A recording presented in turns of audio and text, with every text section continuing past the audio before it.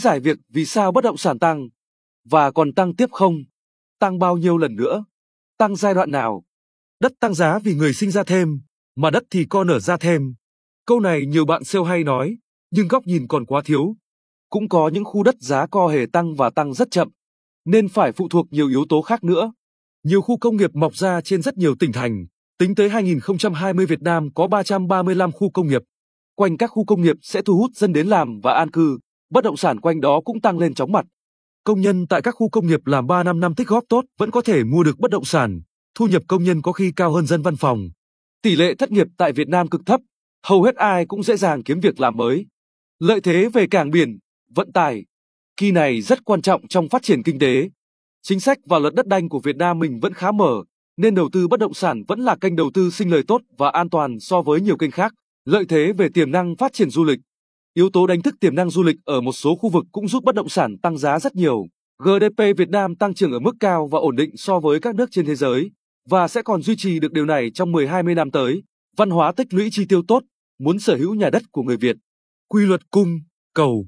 Khi cầu nhiều hơn cung thì giá cứ nhảy theo từng năm, lạm phát và áp lực lãi vay. Hai kỳ này sẽ giúp bất động sản thường tăng trên 10% trên năm nếu xét về dài hạn, mà thường là trên 15% trên năm nếu là bất động sản ở khu đô thị. Dễ thấy nhất, từ 2010-2020, Việt Nam phát triển tốt, kinh tế, GDP tăng trên 6% trên năm, việc làm nhiều ít thất nghiệp, nhà cao tầng mọc nhiều, đất đai tăng giá, dân ăn nên làm ra, và giai đoạn 2020-2045 chắc chắn sẽ trên đà tăng trưởng tiếp và sau đó mới đến giai đoạn BONG bóng, chu kỳ la dốc của bất động sản. Còn hiện tại các chu kỳ 5 năm, 10 năm chỉ là nhịp chững lại, giá giảm nhẹ sau đó tiếp tục tăng mạnh.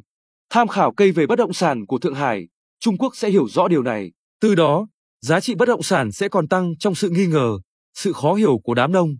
Dù có siết thuế, thì bất động sản vẫn sẽ tăng chứ có hề giảm lại.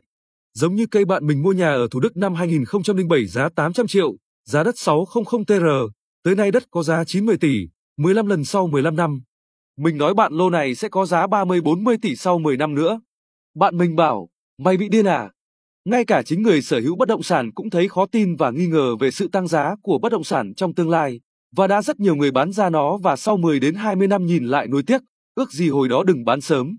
Trong 10 năm tới bất động sản đô thị chắc chắn còn tăng mạnh, ít nhất cũng 3 lần. Nếu lạm phát được kiểm soát 4% trên năm, thì 1 tỷ bằng 1,48 tỷ sau 10 năm. Nếu ai vay banh, 1 tỷ bằng 3 tỷ thì cũng chẳng lời mấy đâu. Nên nó phải tăng ở mức 4 năm lần mới ngon. Sẽ có những vị trí tốt tăng với mức này và cao hơn nữa. Điều quan trọng cần nhận RA, nhóm 1 và 2 nỗ lực làm việc và tích lũy để kiếm tiền. Nhưng số tiền kiếm được hàng năm không nhanh bằng tốc độ tài sản, bất động sản tăng giá. Mỗi năm kiếm thêm được 230 TR, nhưng giá trị bất động sản muốn mua nó đã tăng thêm 500-700 triệu. Thực sự đám đông rất khó chịu về điều này. Để lọt vào nhóm 3, điều tiên quyết là cần có vốn. Nhưng phần lớn chúng ta đều co có nó, nên người giàu càng giàu hơn, người nghèo thì rất khó thoát nghèo. Quy luật cuộc sống vốn có hề dễ chịu, tất cả giới trẻ chúng ta cày cuốc với hy vọng có mái nhà, cuộc sống no ấm. Nhưng chẳng dễ dàng để làm được điều đó. Mua được nhà là điều khó khăn, nếu ai cũng dễ dàng mua được nhà nó mới là điều vô lý của thị trường. Ví dụ, nếu giai đoạn 2019-2020 nhiều anh em dễ dàng mua được căn hộ với số vốn chỉ 350-500 triệu, mua nhà tầm 1,1-1,5 tỷ, thì điều đó sẽ khó tồn tại trong tương lai. Lúc này, giá bất động sản sẽ tăng đến ngưỡng khó ai có thể mua và sở hữu được. Lúc này giá lại lên mức lớn hơn 2 tỷ.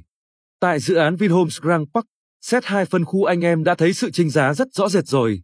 Sau này giá căn hộ sẽ hơn 2 tỷ.